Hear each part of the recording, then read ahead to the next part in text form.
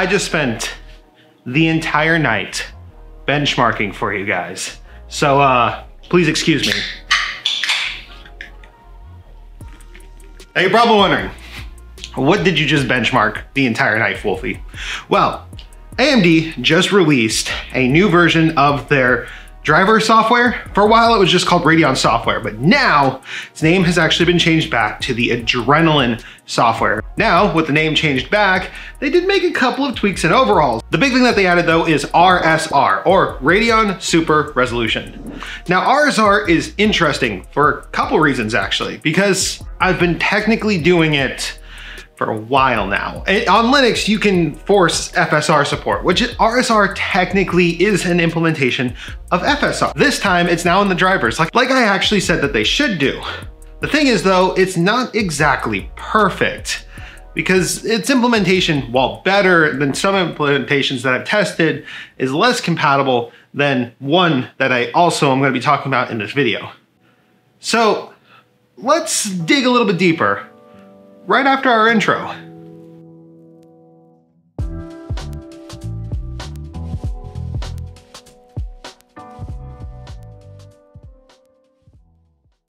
Today we're going to be testing RSR, FSR, CAS, and lossless scaling FSR. Now, lossless scaling FSR is the one that I think requires the most explanation. That is a tool that I've actually downloaded off of Steam that looks a little bit like this.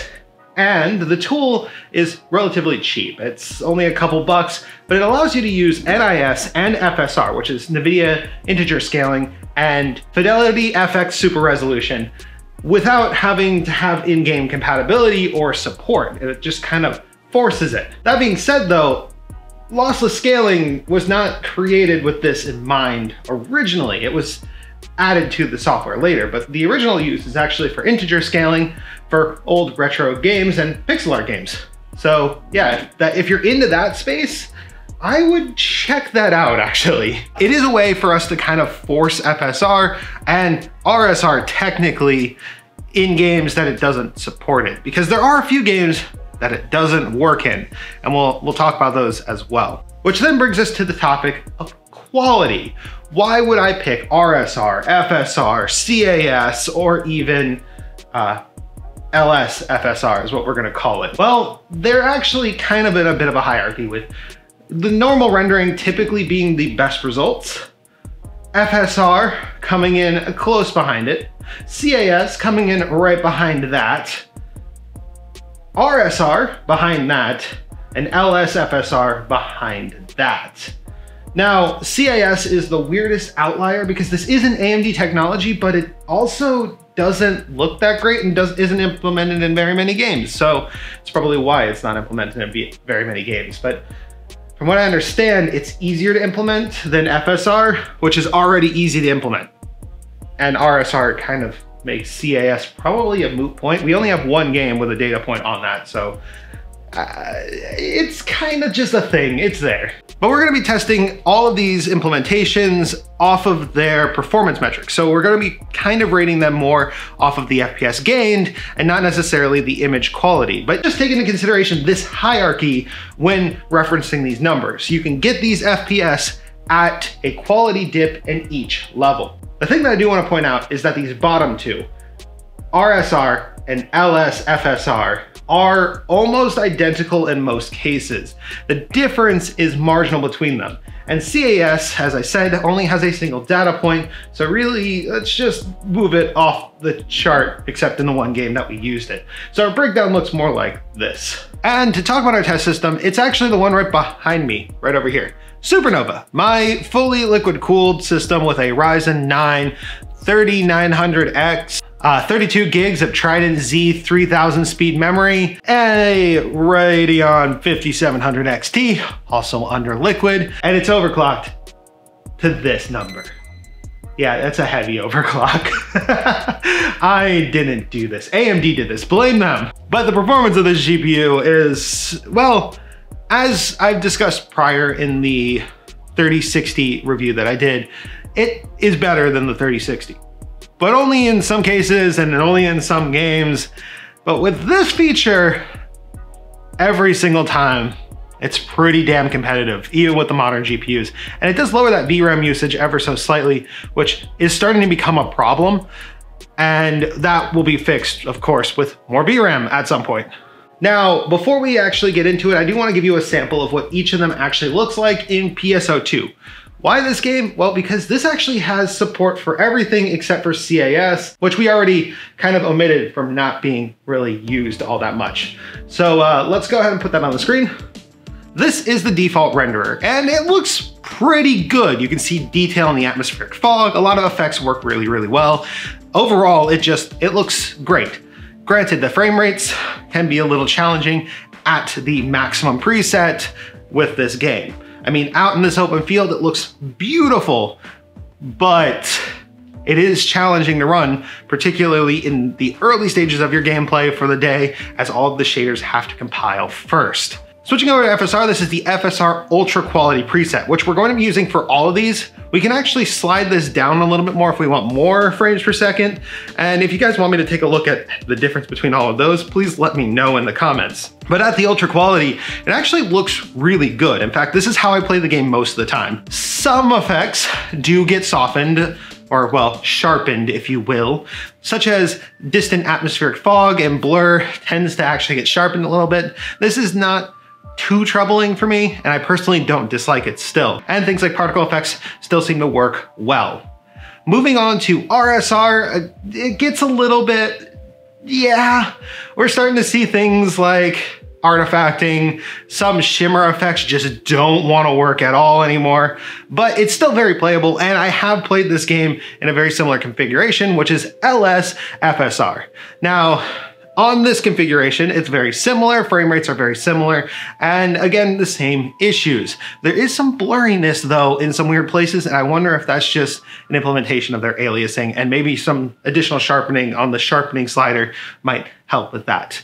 But that's what they all look like, so you have a bit of a frame of reference, and realistically, you might not even be able to tell the difference due to YouTube's compression algorithms. They, they might actually just and you won't be able to see anything. Granted, the easiest way to test it yourself is, well, try it since all of them except for lossless scaling are free with an AMD card. Granted, you can use FSR on a NVIDIA card. We do have a video on that coming up on using FSR versus DLSS on NVIDIA hardware. Uh, I don't think NVIDIA is gonna like that one though. So yeah, that's coming up soon. Without further ado though, let's get into numbers. Let's start with The Witcher 3, which uh, by the way, um, I'm assuming it's because of the Steam Deck, but Hairworks is fixed. And we actually got some of our best AMD performance I've ever seen in this game. I'm not even joking. So uh, our default numbers were 80, 80 FPS with Hairworks on. I don't know what happened. I don't know how it got fixed, but good job CD Projekt Red. If we go ahead and turn on RSR, since we don't have FSR support, we get 103 frames per second. And if we turn on LS FSR, we get about 102, meaning that these two are pretty much in parity and within a margin of error. Cyberpunk 2077 is up next. This game actually does have FSR support, so yeah, not bad. Uh, we got 30 frames per second maxed out, not great on the default. Uh, with FSR enabled, we got it up to 45 frames per second, making it a little bit more playable. If we turn on RSR, we got 75 frames per second, which is actually really good. And lossless scaling FSR, we got 70 frames per second. Again, pretty much within a margin of error of each other. Either way, this seems to be the best way to play this game. While quality does take a bit of a dip, it is playable with the maximum settings. Granted, I would actually recommend using FSR and lowering the preset to high instead of the maximum, and you'll end up with a much more playable game that way. Up next, we got The Outer Worlds, a game that uh, really doesn't like NVIDIA cards, I found out. Maxed out, we actually got 70 frames per second on our native bare metal rendering. RSR took us all the way up to 102, and with LSFSR, 100 frames per second. Again, gonna say this a lot, within parity of each other. Doom Eternal is a game that just runs well in general, and while we can run it bare metal at 165 frames per second, turning on both RSR and LSFSR, we get over 200 frames per second in both cases, which is, again, pretty awesome. Granted, not needed in most cases, because you have to have a monitor that can display 200 frames per second before you even consider having to use this. PSO2 New Genesis is another game that we did test heavily. This one actually has a lot of implementations, including DLSS, which uh, is going to be one of the games that we're going to use in that DLSS versus FSR video. But uh, so for New Genesis, we get 60 frames per second on max. With FSR enabled, it goes up to 80 frames per second. Very, very playable. Now, interestingly enough, this is the only time this has happened so far, but with RSR and LSFSR, we actually dropped down to 75 frames per second, which is in a margin of error of those 80 frames per second, but it is the only time that the numbers have actually been this close so far. Devil May Cry 5 is an interesting one because it plays at 160 frames per second on AMD cards and specifically on my 5700 XT. With RSR enabled, we actually had a glitch where the game tries to switch to HDR and it can't and it just looks so bad. it ended up being uh, not great, but uh, that took us to a 250 frames per second Granted, a better solution would be the lossless scaling FSR, which actually took us up to the same frame rate and didn't have that issue. Now I did try to test a couple of games to see if maybe you can get a little bit better performance in them, like PC Builder Simulator, which has a sequel coming out soon. Now, unfortunately, it appears that 145 frames per second might be max for this, or it might have some sort of implementation that locks it to the frame rate of the monitor, I couldn't find a way to turn it off, so really wasn't much of a way to do it. ESO, as we found out, actually maxes out at 100 frames per second, and uh, all of a sudden the 5700 XT can run that, so I'm assuming there was an update that just made it possible and a bit more stable uh, as it was when we used the 3060. New to us, it's Forza Horizon 5, and uh, yeah, this one's gonna be, this one's a bit weird because it, it it seems that it has a bit of a dynamic resolution scaler that doesn't turn off. We got pretty much the same result on maximum testing between the default RSR and LSFSR being 60, 75, and 75 respectively. We did gain 15 frames per second, but it's not really all that significant and wasn't great. Halo Infinite is another one that has a weird sort of display setting. It doesn't really have detailed things such as doing full screen. It's always borderless window, which is really weird, which prevents RSR from actually running. But you could run this game with LSFSR, which gets you more frames per second. It brings you up to around 90 frames per second on average, which is great because it seems that the game tries to run around 75 frames per second regularly. Godfall is up next, and this is the only game that actually had CAS support built into it that we tested. At maximum settings, we got around 90 frames per second, which for this game is surprisingly high and incredibly AMD favorable compared to NVIDIA. With FSR support, we got up to 130. With CRSR, again 130. CAS took us down to 95. And with lossless scaling FSR, which is, this is a weird one, and again a bit of an outlier, we got 200 frames per second. Don't know why this is the only one that did that, but it is. And then finally, we have Borderlands 3, which doesn't have RSR, doesn't have FSR, even though for some reason the Radeon software thinks that it does. But we can use the lossless scaling FSR, and this is kind of to prove that there are some games where lossless scaling FSR is needed. This is also a weird situation where in the Radeon software, you cannot enable RSR. It's the only game in the software that had that stipulation. And I do wonder if that's because there was that crashing issue with that game and AMD had to make some settings like custom to it. And I wonder if it's just not been added back to it yet. But with that, we did get 95 frames per second as opposed to the default bare metal where we got 60 frames per second, making it a bit more playable. And actually, I do prefer to play it this way because Borderlands goes really well with LS FSR. And I think that actual FSR implementation, if coming to that game, would be, it'd be amazing. Like, this is the kind of game that will really yield well to that kind of technology. Now, looking at the big game breakdown, we can actually see that most of our games do see a benefit to using RSR, FSR, and LSFSR. LSFSR and RSR tend to be exactly the same, which is kind of important because they are more or less the same implementation. The difference is how they work though.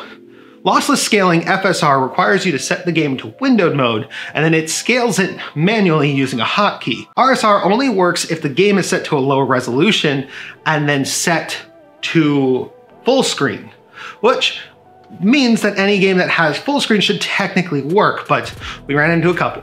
PC Building Simulator was one of them. Borderlands 3 was another one, where the implementation just didn't work either through resolution scalers or through weird settings. Halo Infinite is also notable because it has a dynamic resolution scaler that cannot be turned off. I mean, the game looks great, the implementation looks great, and for PC gaming is one of the easiest games to configure, but it does not really work very well for testing purposes because I can't really, you know, dig deep into it. Overall though, if I had to choose between any of these to actually turn on to boost my frame rate, it would actually have to be FSR. And with FSR 2.0 coming around, that's only gonna start to look better. Now I do have a theory that FSR 2.0 is going to hit your frame rates harder than FSR 1.0, but as long as games implement it in a way that we can select them, or uh, as I said, RSR is always an option, we could see games that look and feel amazing. And it is free performance. And it's really a preference thing at this point. Do you like this or this? I can't make that decision for you. That has to be something that you have to test yourself. But overall, it is an improvement on AMD's GPUs and it will help actually make some GPUs last just a little bit longer. My 5700 XT was looking like it was not holding up very well, and it's still having some issues with VRAM, uh, being that it might just not have enough. But I have a new one coming soon, a uh, 6700 XT, but you guys already know about that. As a function, yes, I would recommend this. I personally love it. I think it works well. And knowing how the performance actually stacks up, I'm curious to know what you guys would actually use. Would you use RSR, FSR, LSFSR, or the CAS? Granted, as I said, that last one is just, there was like no data points on it. So there's really not much we can actually conclude with it. And thank you so much for watching. If you enjoyed watching this video, please leave it a like, comment, subscribe. I legitimately stayed up till five in the morning getting like all the data points together for this. But uh, that's where I'm gonna leave you guys. So thank you again. Wolfy, out.